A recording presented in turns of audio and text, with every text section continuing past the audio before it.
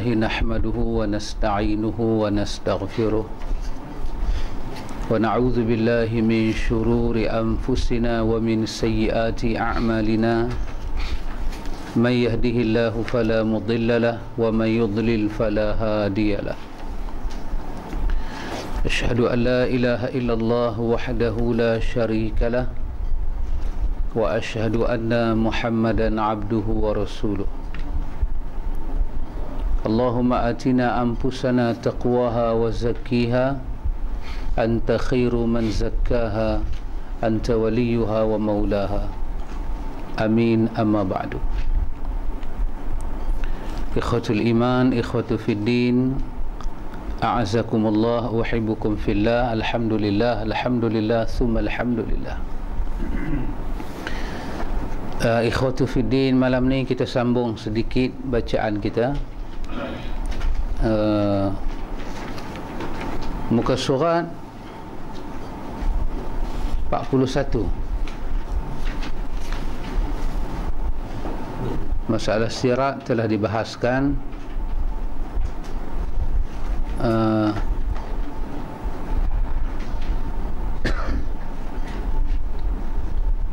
rasanya 40 iaitu mereka mengetahui hak para salaf. Iaitu hak para salaf yang telah dipilih Allah subhanahu wa ta'ala sebagai pendamping nabinya sallallahu alaihi wasallam mengambil keutamaan mereka dan tidak mengkomentari perselisihan yang terjadi di kalangan sahabat yang terkemuka maupun yang biasa. Ha, rasanya kita sampai muka surah 40 itu itu di antara simbol ahlu sunnah yang ditekankan oleh uh, Imam Abu Hassan al-Ash'ari. Ialah bahawa ahlu sunnah mereka adalah mazhab yang mengetahui hak para salaf. Salaf di sini salaful ummah para sahabat. Salaf di sini salafus salih. Dia kena merujuk kepada angkatan pertama dan kemudian angkatan kedua kita tak tak boleh kata para salaf itu terus Imam Syafi'i tak boleh. Zaman salaf bukan zaman Imam Syafi'i. Imam Syafi'i urutan daripada zaman salaf. Salafnya awal sahabat. Pasal itu kita kena kata salafus salih. Kenapa kita kata salafus salih? Kerana perkataan salaf itu perkataan yang begitu umum. Abu Jahal pun salaf juga. Abu Lahab pun zaman salaf. Maka kita kena sekat. Bila kita kita mengikut salaf salahnya mana? Salafus salih. Ha, maka barulah dari bahasa tu kita tak ikut Abu Jahal. Pasal Abu Jahal mana ada salih. Kita tak ikut orang fasik. Orang fasik yang hidup pada zaman Imam Syafi'i kita tidak ikut. Kita tidak ikut khawarij. Kenapa? Mereka tidak masuk dalam as-salih. Ha, maka salaf yang tetapi salaf yang dimaksudkan di sini adalah para sahabat iaitu kita memberi hak kita mengetahui hak para sahabat yang telah dipilih oleh Allah. Kenapa? Kita katakan sahabat ini angkatan yang besar sebab mereka itu pendamping Nabi. Mereka itu suhbatin Nabi. Dia duduk sebelah Nabi. Eh, siapa nak duduk sebelah Nabi ni? Bukan orang-orang kebiasaan. Orang-orang yang mempunyai harakat. Orang-orang yang mempunyai nilai di hadapan Allah itulah boleh menjadi suhbatin Nabi pendamping Nabinya. Maka mesti kita tahu hak mereka. Mesti kita tahu. Dengan kita mengetahui kita mengambil keutamaan-keutamaan mereka subhanallah. Saya katakan begitu hebat para sahabat ini Imam Bukhari mencatatkan satu hadis yang begitu besar tentang sahabat. Bila kita baca hadis itu hadis itu hanya hadis berkenaan dengan jenazah. Tetapi mari kita tengok jenazah sahabat. Oh, subhanallah. Hadis itu memberkatakan tentang jenazah. Tetapi ini jenazah sahabat. Iaitu apabila matinya sahabat Sa'ad bin Mu'az ini nama besar ahli syurga. Dia mati. Dia ini di antara sahabat yang berjiran dengan Sabit bin Qais Dalam hadis Imam Muslim, Sabit bin Qais ni dia tak mai kuliah Nabi. Subhanallah. Dia tak mai kuliah Nabi. Bila dia tak mai, setelah turunnya surah Al-Hujurat. Surah Hujurat. Saya teringat Syekh kata, hampa ni ke bahasa-bahasa utara lah. Hampa ni jenis kerajak-kerajak. Hampa ni kena baca surah Hujurat. Baru hampa punya juah tu hilang. Kenapa? Bila turun surah hujurat ada sahabat tak keluar jumpa Nabi. Takut. Kata dia hampa ni kerap dengan surah yasin surah yasin surah yasin sampai hamba tak tahu hujurat.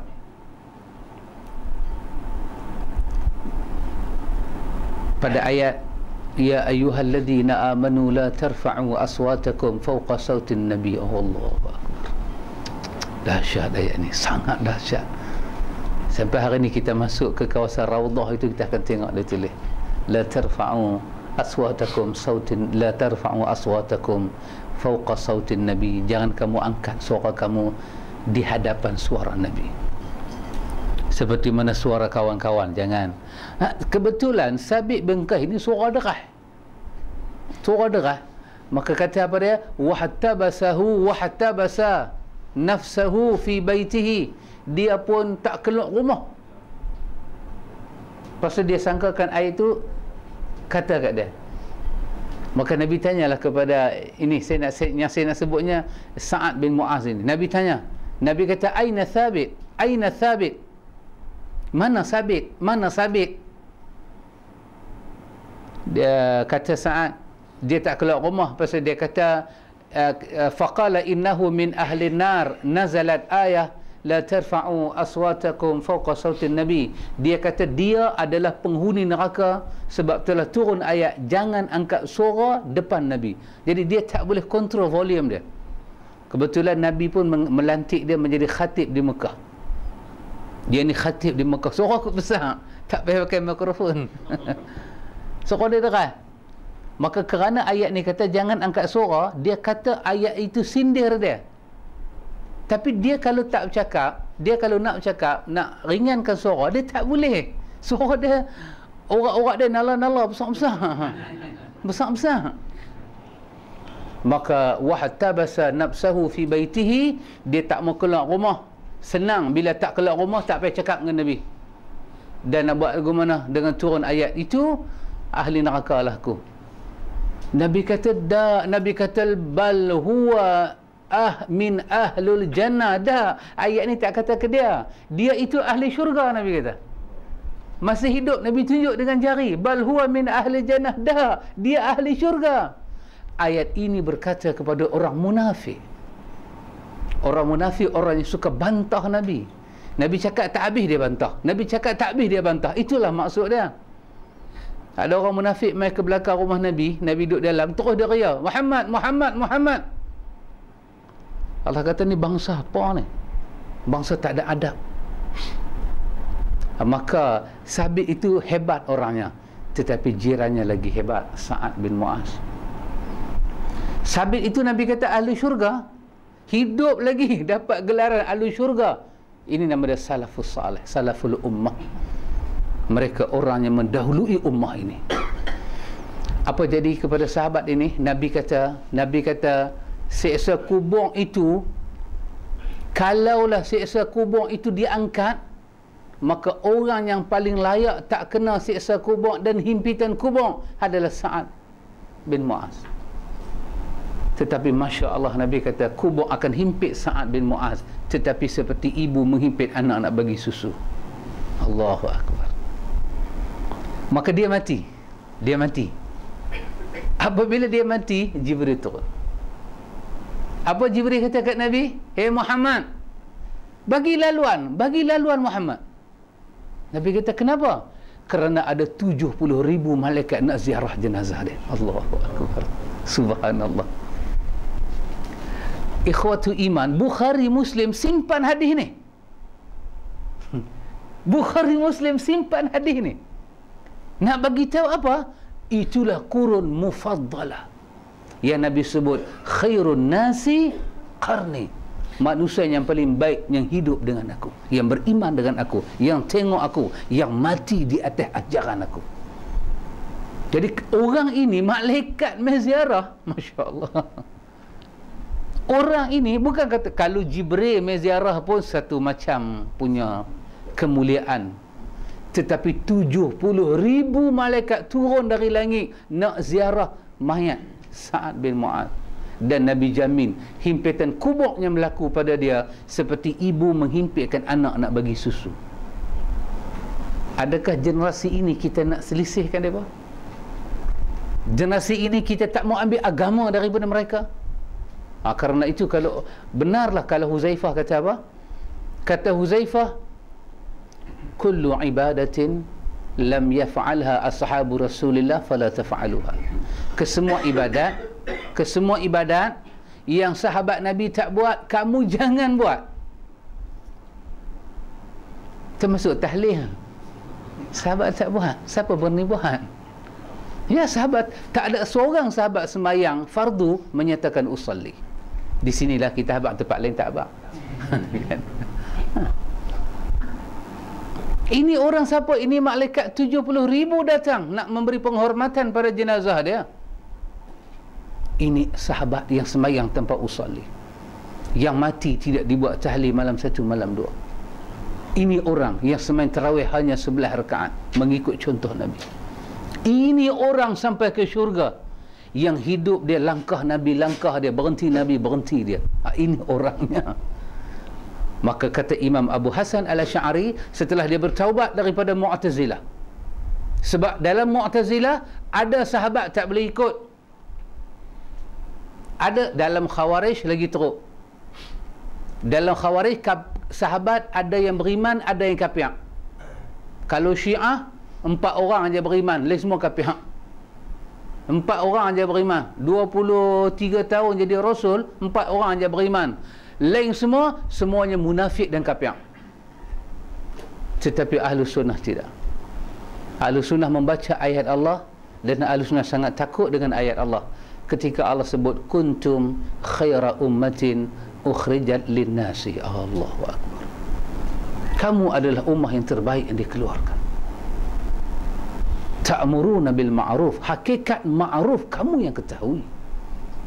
Wa tanhauna 'anil munkar bagaimana munkar bagaimana nak membantah munkar sahabat yang tahu hakikat bantah munkar pasal itu seluruh cara sahabat bantah munkar itu adalah agama Mungkar apa yang sahabat bantah? Ah, itulah yang kita kena bantah. Mustahil satu benda tu mungkar, sahabat tidak bantah. Mustahil. Ada orang yang bernama, apa nama? Marwan bin Hakam. Marwan bin Hakam kan? Dia ada dia ada masalah lah. Dia ni ada pemimpinnya ada masalah sikit lah. Taklah banyak sangat. Yang dua ada ni lagi teruk. Dia ada masalah sikit. Apa masalah dia? Dia semayang raya dalam hadis Imam Muslim daripada Abi Sa'id Al-Khudri dia semayang raya bila dia semayang raya orang tak mau dengar khutbah dia orang tak mau dengar khutbah dia apa dia buat dia tukar khutbah dulu semayang kemudian dia buat macam hari Jumaat dia buat. Ketika itu Abi Sa'id Al-Khudri ada sahabat ada. Dia buat. Pasal apa? Tujuan baik niat dia baik. Apa niat dia? Nak bagi orang dengar khutbah. Apabila Ab, Sa, apa apa nama Abu Sa'id Al-Khudri tengok dia buat lagu tu maka keluarlah hadis Rasulullah. Yang Nabi pernah sebut lama Abi Sa'id keluarkan balik. Antum tengok. Apa Abi Sa'id Khudri kata man ra'a minkum munkaran falyughayyirhu biyadi sesiapa melihat mungkar dia kena ubah mungkar tu dengan tangan dia. Fa illam tastati' fa bilisani. Ubah dengan lidah dan dengan hati. Kata Abi Sa'id hari ini aku ubah dengan lidah. Hai Marwan apanya kamu buat ini menyalahi sunnah Rasul kamu? Tengok depa bantah mungkar kita kita itu bukan mungkar itu bid'ah hasanah. Kita tak kata mungkar. Sahabat bantah. Kenapa? Tu'minuna billah mereka ini adalah ta'muruna bil ma'ruf wa tanhauna 'anil munkar. Semuanya mereka bantah adalah munkar. Semuanya mereka buat adalah ma'ruf. Allahu akbar. Wa tu'minuna billah. Allah mengiktiraf iman mereka Allah mengiktiraf mereka lah orang yang paling apa bahasalah paling paling ideal beriman pada Allah itu Allah katakan wa kadzalika ja'alnakum ummatan wasata. Kami jadikan kamu generasi sahabat ummah yang adil, ummah yang akan diteladani, ummah yang akan dirojok dalam seluruh kehidupan, ummatan wasata. Subhanallah. Mereka kenal pasal itu hadis Imam Muslim Nabi menyebut tentang apa? Nabi kata an-nujum amanatun lis-sama'i. Nabi kata bintang adalah amanah kepada langit. Wa ana amanatun li ashabi aku adalah amanah kepada sahabat aku. Wa ashabi amanatun li ummati sahabat aku amanah kepada umat ini. Fa idza zahabtu bila aku mati besok nabi kata ata li ashabi ma tu'adu. Akan datang kepada sahabat aku apa yang dijanjikan. Seperti mana uh, langit apabila hilang bintang maka langit terdedah kepada ancaman. Hujan nak turun pun time tu nak ribut taufan pun time tu. Tapi kalau bintang tu ada insya-Allah mustahil. Dia susah nak jadi tengok bintang berlambak. Oh nak hujan lebat. Dak dak dak itu mental punya orang. Mental. Tapi bila hilang fa idza zahabatin nujum atas sama ila ma tu'adu. Apabila hilang bintang langit terdedah kepada ancaman. Bila aku mati sahabat terdedah pada ancaman. Bila sahabat mati ummah terdedah kepada ancaman apa kata Imam Nawawi ketika dia terjemahkan hadis ini? Kata Imam Nawawi yang pertama datang sahabat mereka menyelamatkan ummah ini daripada syirik kepada Allah. Depa yang jadi benteng. Yang kedua datang sahabat mereka yang menjadi benteng ummah ini daripada bid'ah. Yang ketiga daripada fitnah. Nabi pernah sebut dalam hadis Nabi kata adalah hadis Imam Muslim dalam bab fitan. Apa Nabi kata? Nabi kata Umar itu pintu yang menutup fitnah. Fitnah ni selama ummah yang ada fitnah ni dia banyak. Dia seperti mana apa nama satu ombak di atas satu ombak di atas satu ombak. Selama Umar hidup ombak tu tak boleh mai. Duduk balik sana. Tapi mati Umar Nabi kata ummah dia terkena fitnah. Tengok macam mana hidup para sahabat menyelamatkan daripada syirik daripada bid'ah daripada khurafah daripada fitnah daripada kezaliman. Sahabat sedikit tak berlaku zalim. Hatta hatta kata Abdul Aziz Al-Badri Al-Baghdadi dalam buku dia Kristian mencipta zaman kegemilangan dia boleh tulis buku zaman pemerintahan Islam. Dahsyat tu subhanallah kalau nak letak bangsa kapiak yang selamat letaklah mereka di bawah rumpun muslim depa selamat tapi kalau letak seorang muslim di tengah kafir tidak akan selamat tengok sahabat sampai orang datang kepada Umar dalam kitab Ibnu Kathir Bidayah wa Nihayah daripada benua Afrika Wahai Umar, apa dia? Masukkanlah nama negeri kami ni dalam wilayah hang. Apa Umar kata? Umar kata kepada orang ini, Umar cuma ada satu ya. Aku tak larat. Nak berjalan sampai Afrika, aku tak larat. Apa dia kata? Umar, hang mengaku cukup tak payah mai. Kami rasa keamanan itu. Oh, Imam Az-Zahabi pula cerita satu wanita kan yang ditarik purdah dia wanita itu panggil ketika ditarik purdah dia oleh orang-orang kafir wanita itu panggil aina amirul mukminin di mana pemerintah kami aku diaibkan. Umar tak dengar Umar tak dengar. Ada orang datang kepada Umar membisikkan kisah ini bukan di Madinah. Kata kisah ini di sebelah Bahrain berlaku di sebelah Bahrain.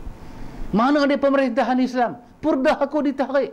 Apa Umar kata labbaika ya ummah labbaika ya ummah. Aku datang wahai ibu aku datang wahai ibu. Satu perempuan ditarik purdah satu negeri Umar tawan subhanallah sahabat adalah amanah kepada ummah ini. Ketika Umar ini dia buat kerja dia tak teladan ni sahabat apa jadi? Sampai Uzaifah kata ibadat sahabat tak buat jangan kamu buat. Maka bila kita tak teladani sahabat kita terdedah seperti mana langit terdedah kepada ancaman bila tidak ada bintang. Terdedah kita kepada khilaf terdedah kita kepada khilaf. Khilaf kita ni bukan khilaf yang khilaf. Kita kata khilaf yang membangunkan. Khilaf kita ni khilaf yang mencederakan. Cedera ilmu. Sampai pada peringkat Nabi pun kena ke kita nak pertahan amalan-amalan tertentu Nabi kena ke last kali orang kata Nabi tak apalah dia Nabi. Kita ni lah kita kena buat. Kita bukan Nabi. Subhan. Nabi kena ke dia sapu macam dia, dia buang sampah rumah. Subhanallah kerana itu kita kena tahu siapa dia sahabat. 70 ribu malaikat datang ziarah pada hari kematian sahabat. Kita tak akan dapat jiwa macam jiwa sahabat. Ya. Saya duduk-duduk saya baca riwayat Abdullah bin Abdullah bin Mas'ud. Satu je contoh saya ingat. Subhanallah. Saya rasa untuk dapat hati macam ni kita kena puasa 50 tahun ke Hmm, kita kena puasa dan puasa semayang dan semayang apa aja jangan buat supaya hati kita lembut macam ni. Apa dia satu contoh yang kecil tapi menarik. Dia balik-balik dia lintas jalan. Dia tengok orang ramai. Dia tengok orang ramai. Apa kata Abdullah bin Mas'ud? Dia tanya depa min aina ji'tum? Hampa dari mana? Apa depa ni jawab? Kami baru balik daripada tanah kubur hantar saudara kita meninggal. Habak tu je. Bukan habak kata api dengar pengumuman pilihan raya siapa penamaan calon. Tak. Habak kami daripada tanah kubur. Dia dengar-dengar. Dia tarik serban dia. Dia tarik serban dia. Apa dia kata? Wai haka ya benar Mas'ud. Wai haka ya benar Mas'ud. Aku kesian dekat hang wahai ibnu. Dia kata kat diri dia. Aku kesian dekat hang wahai anak Mas'ud. Aku kesian dekat hang. Apakah nasib hang dihisap di hadapan Allah? Mereka dapat dua kirat, kamu tidak ada kirat. Masya-Allah. Orang orang tengok dia kelupuk macam tu. Orang kata Abdullah bin Mas'ud. Ini bukan macam bahasa kita lah kan. Ini bukan hal yang besar sangat. Isa okok ni benda biasa. Tak ada apa. Bukan besar sangat. Nak pergi jadi kalang kabut kelupuk ni pasal apa? Apa dia jawab? Dia kata Nabi kata kalau satu kirat itu sebesar Jabal Uhud hang bayang banyak mana dosa aku hilang dengan aku sembahyang mayat apa aku akan jadi di hadapan Allah kalau dua kirat tak boleh tampung dosanya aku buat ini? Wai dia tak maki kawan tu dia maki diri dia. Wai hakaya bin Mas'ud wai hakaya bin Mas'ud kesian kepada hang wahai ibnu Mas'ud. Kesian dekat hang wahai ibnu Mas'ud. Kenapa hang lalai berurusan sampai hang terlepas kira Masya Allah jiwa tu bila kita nak dapat? Dapat. Kita pernah dapat jiwa itu. Allah pernah bagi pada kita. Kita pergi semayang mayat tengok habis. Kita kata celaka betul dia ni? Dia pas sembahyang awal aku tak dapat englok celaka betul aku hari ni. Dia pas sembahyang awal aku tak dapat englok dia duduk ratib tu sampai berkelahi dengan bini dia di rumah. Abang pi lambat lagi. Ni semua hang punya dajjal lah. Aku pi lambat hang lambat ayan baju. Ya subhanallah. Ikhwan pasal itu di di sisi Imam Abu Hasan kedudukan sahabat dimasukkan dalam bab akidah.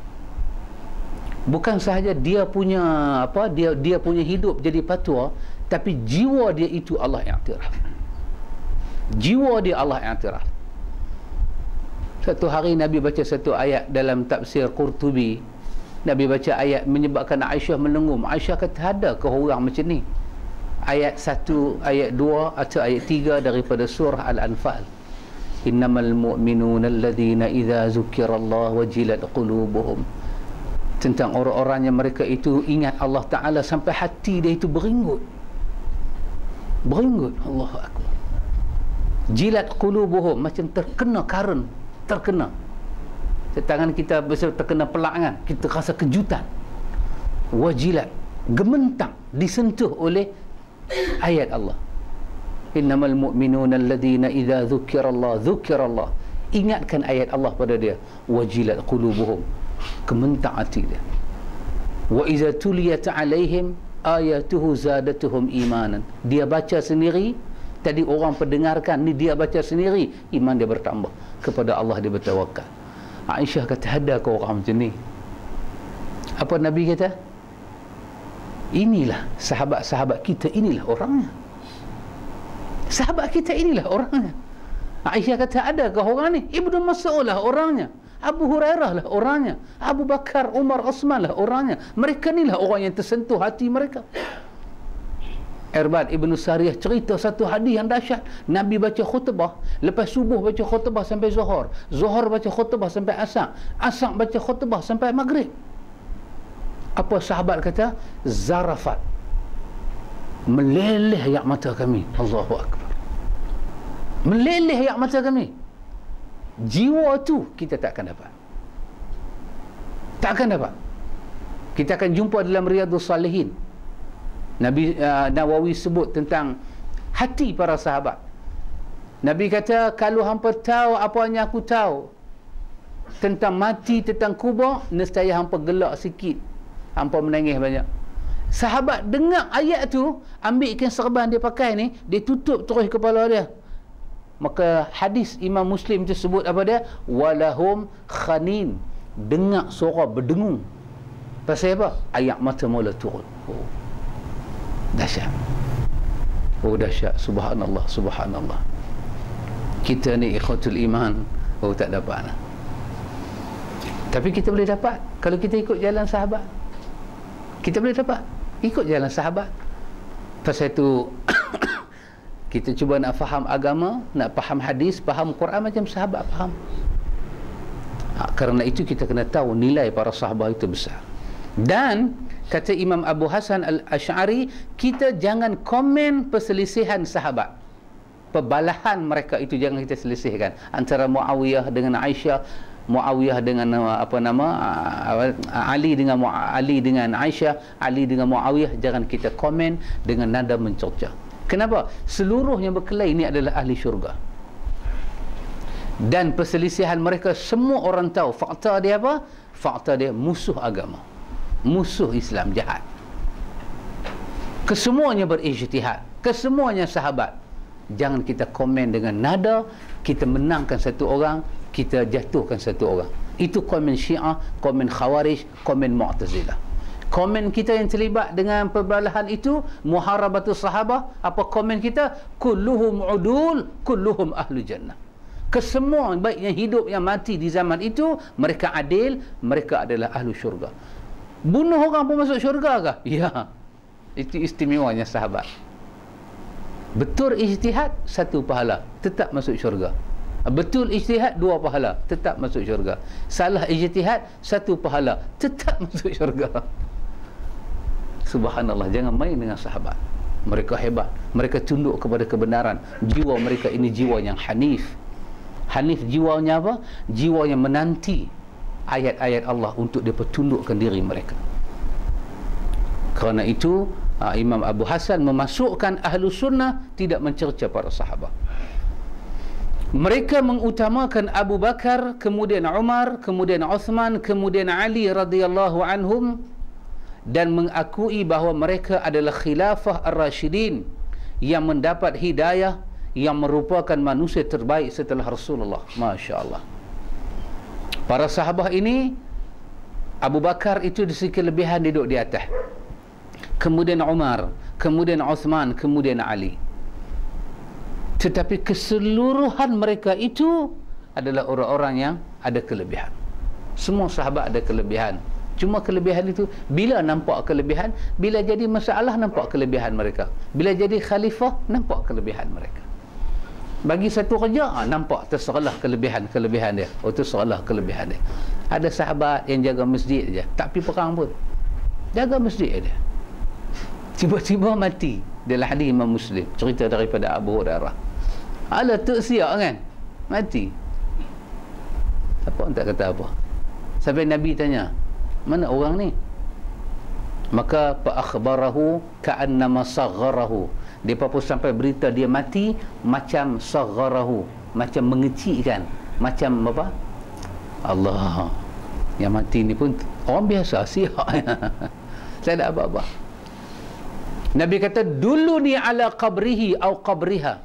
Tunjuk ke aku kubur dia. Nabi berdiri di atas kubur dia. Nabi semayang mayat dan Nabi berdoa dengan doanya sangat luar biasa. Apa Nabi kata? Ya Allah nurkan kubur dia. Ya Allah dengan aku semayang atas dia hang hilangkan gelap kubur ya Allah hang bagi cahaya pada kubur dia. Hang ampun seluruh dosa dia. Doanya luar biasa. Kita tak pernah doa lagu tu macam kubur. Kita punya doa ya Allah bagilah dia dapat apa satu kebun daripada kebun syurga dekat tu ya. Lagi kita tak pernah doa minta macam Nabi doa. Oh subhanallah. Itu kelebihan sahabat. Bagi buat kerja nampak kelebihan. Bagi buat kerja nampak kelebihan. Munafik ni kelebihan dia lagu tu lah. Baling batu sembunyi tangan. Itu saja kelebihan dia. Sampai Allah ancam orang munafik dengan neraka. Lebih-lebih yang jadi khalifah ini, Nabi kata mereka itu khalifah ar-rashidin. Khalifah yang mendapat pertunjuk Allah. Khalifah yang terpimpin.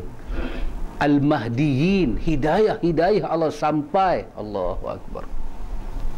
Itu bayang dengan nah-nas begitu, macam mana orang syiah boleh ludah kepada Abu Bakar As-Siddiq macam mana orang-orang syiah boleh ludah kepada Abu Bakar As-Siddiq kita jangan sekali-kali menempah kalang kabut ini Uthman kemudian Umar kemudian Osman Allahu Akbar saya ingat duduk baca Sayyidina Osman punya riwayat ni banyak riwayat kita boleh ambil hebat dia salah satunya dalam perang tabuk dan pada hari dia nak dibunuh pada hari dia nak dibunuh orang kepung keliling rumah dia Orang kepung keliling rumah dia.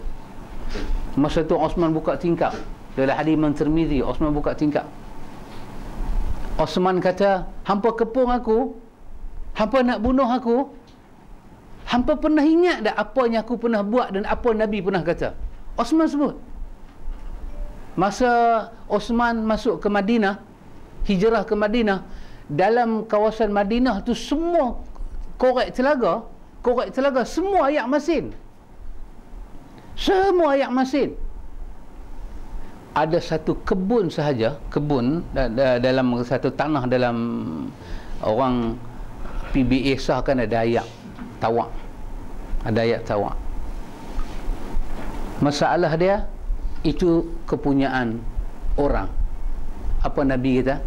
Nabi kata siapa beli ayat siapa beli tanah ni dan kita gali jadi ayat Nabi kata aku jamin di atas nama Allah si pembeli itu ahli syurga. Nabi jamin. Tapi nak beli lagu mana? Ni yang mai hijrah ni yang mai hijrah ni orang kata mai hijrah ni dengan bulu rumah dengan baju lah tetapi Osman radhiyallahu an dia tak senang duduk dengan jaminan. Itu yang Quran kata apa dia? Tak mana ayat Quran? Wal-laili idza yaghsha. Kemudian sambungan dia? Wal-laili idza yaghsha.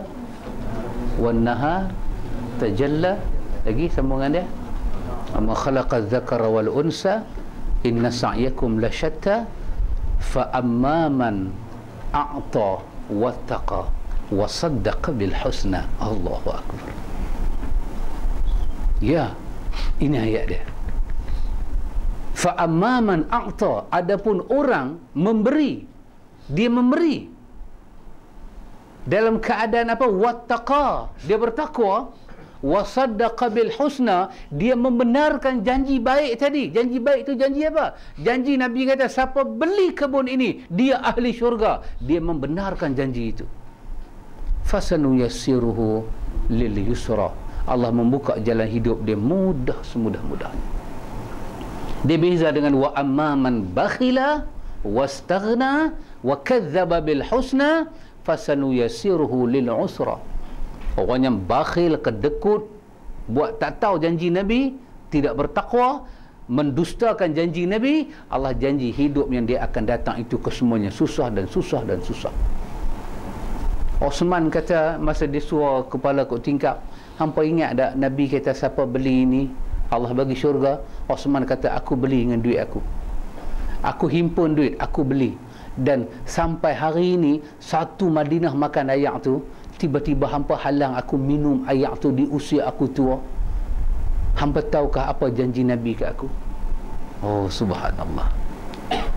Cukuplah dekat tu kalau kita kata kelebihan Osman yang menyebabkan syiah tak lalu tengok muka dia.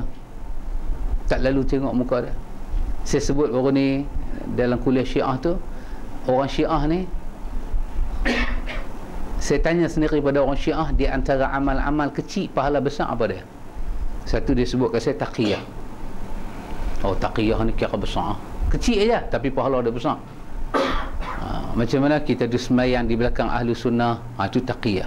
Kita kahwin dengan perempuan ahlu sunnah itu taqiyah. Kita ikut syarat-syarat ahlu sunnah di negeri ahlu sunnah itu taqiyah. Kita sembahyang tak letak karbala itu taqiyah. Tapi pahala dia besar. Maka satu lagi pahala besar apa dia? Iaitu tafakur tafakur. Lepas semayang bagi salam belah kanan bagi salam belah kiri tafakur. Tafakur macam mana tafakur? Saya tanya ke saya tanya pada orang syiah sendiri tafakur macam mana pahala besar? Dia kata lepas bagi salam lepas semua istighfar juga kan? Tetapi dia istighfar kerana sebab lain. Kita istighfar kerana sebab lain. Kita satu istighfar lepas sembahyang kerana sunnah yang kedua, kita mengenangkan kelalaian-kelalaian yang kita lakukan kalau ada dalam salat. Kemungkinan kelalaian itu wujud. Kita istighfar. Di samping di sunnah Nabi. Takut tersilap. Takut teriak. Takut Ya Allah, kita tahu ibadat kita dia punya nilai macam mana? Astagfirullah ya Allah dengan tawaduk. Aku persembah ibadat ni hang terima ya Allah. Astagfirullahalazim. Tapi Syiah dia dia istighfar lepas salat bukan pasal itu.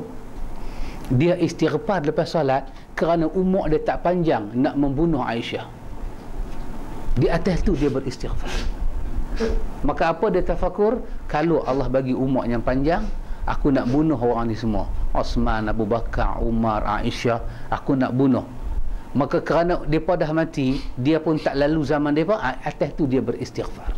Astagfirullah astagfirullah Subhanallah mazhab yang begitu jejet mazhab yang begitu kotak luak dalam zahir dan batin.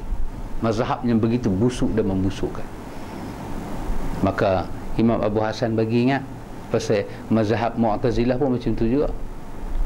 Mazhab Mu'tazilah orang sufi lagi dahsyat. Orang sufi lagi dahsyat. Mazhab sufi ni wali lagi hebat daripada sahabat. Ada sufi masuk dalam hutan ada sufi masuk dalam hutan sesat jalan. Dalam hutan hutan negara sesat. Nak keluar macam mana?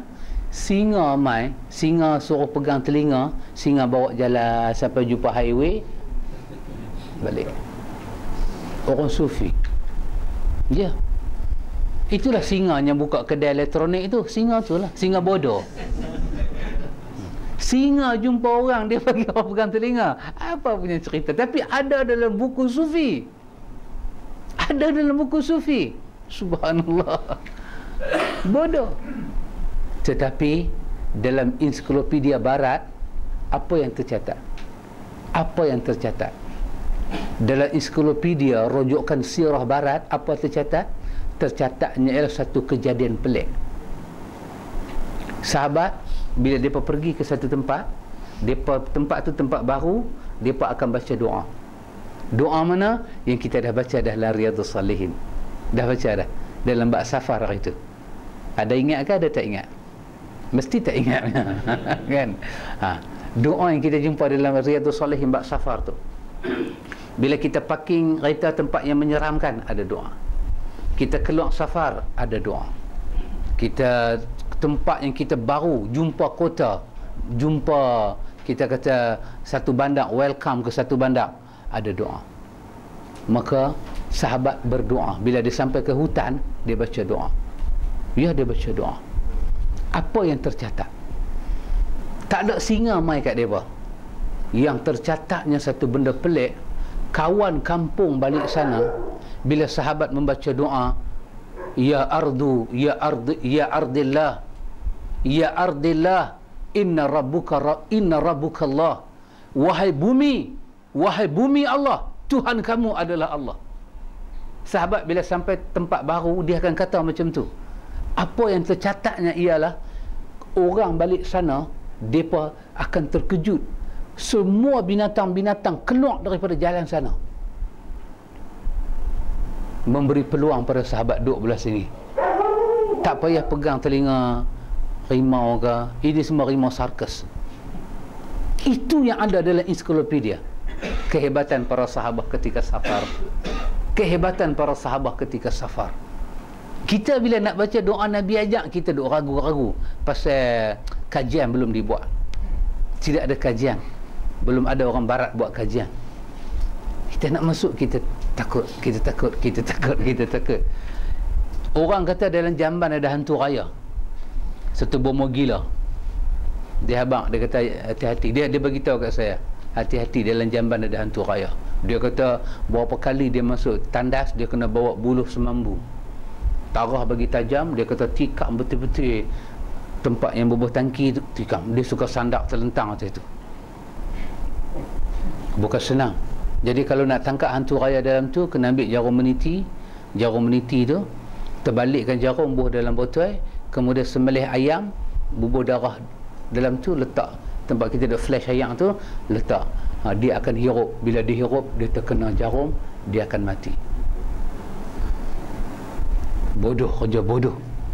Kenapa kerja bodoh? Apa Nabi kata? Bila langkah kaki kiri dalam tandas, Bismillah, Allahumma inni a'udzubika minal khubusi wal khaba'is. Ah khubusi khaba'is bukan kantu raya.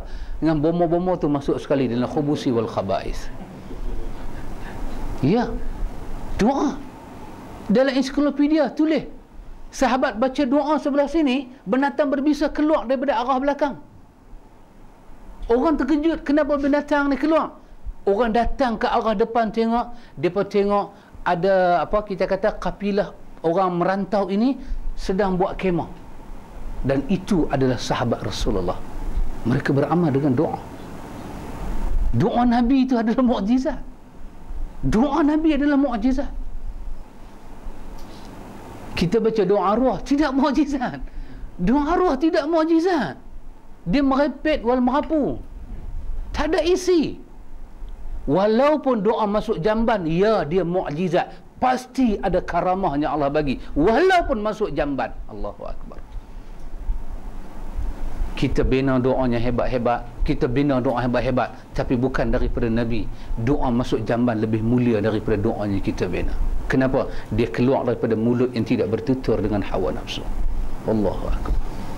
Hebat para sahabat. Kita tak dapat yang tu. Kita tak dapat yang tu. Kita tak dapat yang tu. Sahabat makan dengan apa? Bismillah, kemudian tangan kanan. Bismillah, tangan kanan. Kita tak tahu nak makan apa lagi. Tak tahu. Tapi kita makan macam-macam. Subhanallah. Kita tak dapat mukjizat dengan bismillah. Kita tak dapat mukjizat dengan bismillah. Ya, saya ada satu pengalaman yang pelik bin ajaib. Tapi dia benar. Itu satu kawan saya dia makan balik ni dengan satu kawan tuk guru sufi dia pun makan. Itu saya mai. Saya duduk, duduk sekali makan. Saya cedok nasi buah pada kawan. Kawan tu makan. Guru sufi ni. Saya bubuh kat guru sufi ni lagi banyak daripada sahabat seorang. Dekat saya lagi banyak daripada guru sufi itulah. Jadi kami makan lah. Kami makan. Jadi saya ada tengok sahabat ni makan. Saya duk kata, "Amboi sahabat, ana punya lagi banyak." Enta. Ana ana sudah dah banyak. Ana tambah lagi, lagilah banyak. Enta ana bubuh tadi satu senduk tak habis-habis. Dia bismillah, dia makan. Makan dia ada berkat. Guru sufi tu, guru sufi tu kata, ah, ah, nasi ana pun berkat juga. Ana makan daripada tadi tak habis-habis. Yang tu bukan berkat. Yang tu pasal buah berlambak. Memang tak habis-habis. Tapi sahabat yang saya tengok ni, memang dari tadi dia makan tak habis-habis. Tapi dia tak kata pun berkat.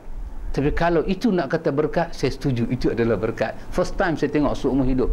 Saya makan tambah, habis. Dia makan tak tambah, tak habis-habis. Saya cuba buat satu kajian, selidik lah. Kok dia ada gigi palsu, original. gigi dia original kok dia ada masalah penghadaman tidak dia minum air yang bomba masuk dalam badan tu clear dia tak ada penghadaman tapi dia makan Masya Allah berkat dia dia boleh makan dia boleh suap ke anak dia. Anak dia boleh makan kenyang dia boleh makan tak tambah. Saya makan tak suap ke siapa tambah lagi. Guru sufi tu makan punya lama kami berdua serupa. Jadi seperti hang hang cangkul tu. Lima pinggan dia kuat dia makan lima pinggan. Director kata tu bukan kuat untuk gelojor kata. Ya kalau nak kata berkat berkat ada pada sunnah Rasulullah. Dua saja. Makan dengan tangan kanan bismillah. Habis. Tak ada petua tak ada petua. Nak kunyah 40 kali ke 44 kali ke 120 kali hang kunyah lah. jangan lucu gigi sudah. Tetapi berkat ada di mana? Bismillah. Kerana bismillah itu daripada Allah kepada rasulnya. Dan dia tak keluar daripada dia bukan keluar daripada hawa nafsu Masya Allah sahabat beragama dengan agamanya sangat terbaik. Ikhwatul iman ikhwatul fiddin. Mereka merupakan manusia terbaik setelah Rasulullah sallallahu alaihi wasallam. Jangan hina sahabat. Jangan ada rasa sahabat nabi ini buat kecoh. Jangan. Jangan. Ah, semalam sahabat berbincang dengan saya. Dia cerita pengalaman sahabat uh, tentang hadis uh, apa hadis uh, Sa'labah itu. Dia cerita pengalaman dia lah. Pengalaman dia hadis Sa'labah dia buat kajian Sa'labah yang dikatakan ada kain selai sepinggang tu. Ha, bila dia semayang bini dia semorok belakang belakang pintu dia lari. Bila sahabat-sahabat kata awak dia ni kan? Ha, hadis tu dia kata dia cerita ke saya lah dia kata uh, masa dia mengaji dia masa mengaji dia kata hadis itu sebenarnya nak ambil dalil. Orang lepas semayang tak baca doa balik terus munafik. Ha, itu nak ambil dalil tu. Ha, jadi dikaitkan dengan cerita Sa'labah kan Sa'labah bagi Assalamualaikum Assalamualaikum lari balik. Menyebabkan sahabat lain tak suka Nabi tak suka. Ha, sebenarnya betul-betul dalil dia kata di situlah. Jadi siapa-siapa jadi imam kalau tak baca doa angkat pungkok terus ahli semua labah model dia cerita dengan saya. Lepas tu dia kata ana ana dia kata ana banyak menangis. Dia kata ana istighfar pada Allah banyak. Bila ana mula mengkaji dia ambil itulah buku apa nama doktor apa nama uh, Shu'aib Arnaud. Shu'aib Arnaud kan dia buat buku tentang Sa'labah ini dia baca buku itu. Dia boleh harap dia baca. Dia cerita dengan saya. Baru tahu dia kata siapa dia? Sa'labah ini Sa'labah ni. Ahli badar dan ahli badar ada satu hadis rakmen jamin mereka ahli syurga. Macam mana selama ni Ana boleh kata sahabat itu munafik. Hmm. dia menangis dia cerita dengan saya dia menangis. Masya Allah dia kata orang semulia itu Sa'labah bin Hatib Al-Ansari sehebat itu dia kata kita boleh tuduh dia. Dia kata bukan kita lah ana lah tuduh dia. Saya kata bukan entah saja semua termasuk dalam tu. Semua termasuk. Bahkan Al-Hafiz Ibn Kathir memasukkan kisah itu dalam tafsir dia. Dia masukkan dalam tafsir. Dengan kalau kita baca mukhtasar dia itu dengan dia tidak memberi penjelasan tetapi penjelasan di bubuh tempat lain menyebabkan kawan yang membaca tafsir Ibnu Kathir yang tidak tahu manhat Ibnu Kathir dia tersasar. Berapa orang tahu manhat tak ramai. Berapa buku kita baca kita tahu kenapa tuan tulis buat begini. Kadang-kadang Ibnu Kathir dia ulang balik dalam bidayah wan nihayah. Di situ dia akan bagi tahu riwayat-riwayat ini bagaimana kedudukan dia dia dia, dia masukkan uh, Ibnu Qais uh, cerita Sa'labah ni dengan dia kata ada riwayat menyatakan. Dia menyatakan ada riwayat menyatakan. Ayat An-Nisa ini turun kerana Sa'labah ada riwayat menyatakan tapi dia tidak mensahihkan riwayat itu. Dia nak habaq. Dalam himpunan banyak riwayat ada juga menyatakan kerana itu. Tapi dia tidak mensahihkan. Kita mana kita tahu manhaj dia? Mana kita tahu mustawa kitab dia kita pun kira bantai sajalah. Kalau orang tanya kita kita kata dalam Ibnu Kasir pun ada. Hamba apa? Hamba apa? Sahabat ni dia cerita dengan saya oh subhanallah. Bila baca riwayat Sa'labah bin Hatib Al-Ansari rupanya dia satu orang yang hebat. Ahli syurga. Bagaimana kita boleh komen dia macam tu? Bagaimana ahli syurga boleh mati tak ada iman? Kalau Allah dalam ilmu Allah lah kawan tu mati ada iman. Bagaimana dia ni boleh masuk satu masuk syurga tapi mati ada iman? Tuhan pun macam syiah juga Tuhan badar. Tuhan badar ni Tuhan tak, tak apa reti. Dia benda besar-besar dia tahu lah benda kecil dia tak apa tahu ini syiah punya hal dia panggil Tuhan badar. Tuhan ni pasal dia urus benda besar. Benda kecil-kecil dia tak reti. Betul kadang-kadang tu macam kawan ustaz-ustaz dia balik daripada timur tengah ni dia duduk Arab lama kita jawi dia tak boleh baca saya ada. Sembang kawan. Masuk-masuk dia tulis jawi masjid. Dia jadi macam sudin baca. Alik pukul mim mim pukul nun nun pukul waw. Sarkas baca panjang tulis panjang keluar sarkas pasal apa? Lain tu bunga dia saja. Dia tak tahu nak bunyi. Dia, dia saya tengok dia duduk eja dia mengaji tanah harap 20 tahun. Dia duduk eja jawi dia duduk eja jawi tak dapat. Tulis harap dia mudah dah dapat. Hak jawi tu dia tak dapat. Saya kata duduk puluh-puluh tahun tanah harap tak tahu jawi. Memang tak tahu jawi lah dia orang Arab bukan orang jawi. Ya betul. Syiah pun dia ada lagu tu Tuhan Bada. Pasal apa? Yang kecil ni urusan-urusan yang remeh-remeh ni porok-porok Allah bagi pada imam 12 imam 12 yang jaga. Ha, Tuhan dia jaga yang mana? Yang nala-nala mega-mega projek itu ha, Tuhan jaga small small business bagi iman 12 jaga. Baik ikhwatul iman. Mereka mempercayai hadis yang datang daripada Nabi bahawa Allah Ta'ala turun ke langit dunia dan Allah berkata uh, yang meminta ampun sebagaimana tercentum dalam hadis iaitu uh, Allah turun ke langit dunia dan Allah nak bagi keampunan kepada orang. Ikhwatul iman uh, kita berhenti tang situ dulu. Malam ni kita baca dua sebab malam ni saya nak nak bagi ruang sikit kepada Ustaz Ustaz Luqman Madinah. Ustaz Luqman Madinah. Ustaz Luqman Madinah ni saya boleh kata dia orang muda tapi banyak benda saya belajar dengan dia. Banyak benda saya belajar dengan dia. Subhanallah. Betul lah. Ilmu ini umur bukan. Kata pak cik itu tua mesti banyak ilmu. Tidak.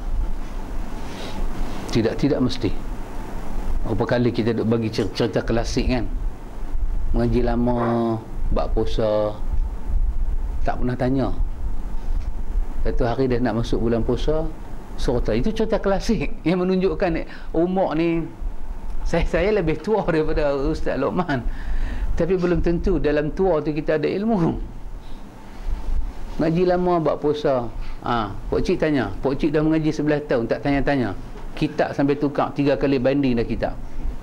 Pak Cik nak tanya apa? Ya saya nak tanya Ustaz. Saya tanya buat puasa Mudah aja. Sebelah tahun mengaji Tentu Ustaz nanti prepare. Dia ni nak berkeluar hadis mana? Bukhari ke Muslim ke? Dia nanti prepare. Saya tanya satu soalan yang mudah Menyebabkan Ustaz tu kata kat dia tu Saya duk tanya dah sampai bila-bila. Ustaz kata kalau matahari naik kita puasa, matahari turun kita buka puasa. Katalah satu hari matahari tu naik tak mau turun-turun, nak buka ke tak buka puasa? Satu benda. Ustaz tu fikir, patutlah hang tak tanya sebelah tahun. Ya, betul lah, tak payah tanya. Tak. Tapi kadang-kadang ada orang tua berhemah. Berhemah tinggi. This is I tell you, tell ketul. Tell betul. I, I tell you my brother Muslim, this is a true story. Happen in train. From Tumpak, Tumpak ke mana saya lupa dah. Tapi dari Tumpak. Tumpak ni kira Kelantan penghabis lah. Dua orang ada satu pak cik, pak cik Kelantan. Dia bawa dua cucu. Dia naik atas kapal kapal kereta api. Naik kereta api. Masya Allah dia cucu dia jemuan Panggil macam pekan hak rambut Yang mak dia masuk dalam batu belah Jemuan Tapi this is a True story. Kita ada Apa we say Moral apa? Story tu moral story tu. The moral of the story behind this history. Kita boleh ambil.